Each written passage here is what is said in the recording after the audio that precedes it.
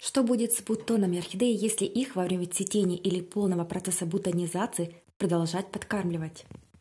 Здесь важно сделать акцент, чем подкармливать. Если вы будете подкармливать обычными минеральными удобрениями из магазина, то лучше уменьшить концентрацию до самого минимального порога, а если использовать препараты из аптеки, то можно. Посмотрите, как чувствуют себя хорошо корни у этой орхидеи. Именно поэтому ошибочно полагать, что наши орхидеи нуждаются в подкормках исключительно во время вегетации. Процесс бутонизации и особенно процесс цветения требует немало сил и потенциала, всего запаса резервов питания у орхидеи, которая, конечно же, рано или поздно истощает полностью иммунитет растения. Что касается перечня тех препаратов из аптеки, которыми пользуюсь я, я продолжаю, в том числе во время этого самого красивого периода роста орхидеи, периода фазы цветения.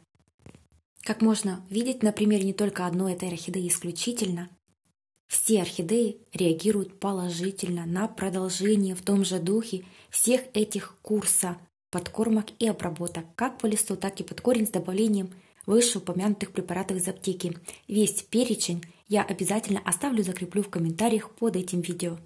Что касается дополнительных факторов, которые повлияли на результат цветения и бутонизации именно этой орхидеи, а также тех корней, которые раскуклились и стали активно расти сверху горшка. Эта орхидея растет в двойном горшке с большим количеством дренажных отверстий, как снизу, так и по бокам.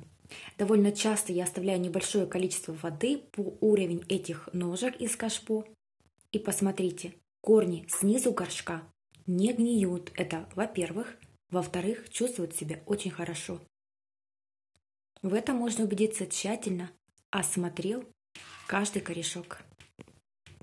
Все эти препараты из аптеки, в частности, обладают стимулирующим способностью. Именно поэтому ваш орхидея будет расти практически круглый год. И что самое важное стоит отметить, не в ущерб себе ни в коем случае, а только во благо потому что своевременно, постепенно и по необходимости растение будет снабжаться большим количеством действующих веществ, которые будут благотворно влиять на то, что остальные макроэлементы будут усваиваться на все сто. И только однажды попробовав внедрить мой рецепт в полив для своих орхидей, уже можно сразу заметить разницу до и после процедуры обработки. Благодаря такому поливу все бутоны орхидей будут сохранены. Если началось опадание, оно обязательно прекратится, потому что благодаря ежедневным опрыскиваниям это поможет устранить дефицит влажности растения.